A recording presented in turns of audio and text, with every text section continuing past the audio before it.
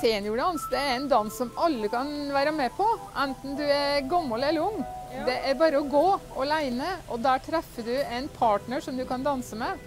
Og det å skifte ofte partner, slik at eh, du trenger ikke ha noen fast partner. Og når, når du har lært eh, seniordansen, så kan du reise rundt omkring i hele landet og treffe seniordansere, og du kan å danse med alle. Seniordansen er jo kjempefin trening. Ikke minst for hjernen og for, eh, for hele kroppen. Og, og du treffer det sosialt, og du, du, du blir glad når du har vært der. Og du Ja, det er rett og slett eh, kjempefint. Ja. Og nå har dere da tatt imot stafettpinne fra Sel. Ja. Eh, og hvor går stafetten videre? I morgen skal vi reise til Skjåk med stafettpinnen. Ja.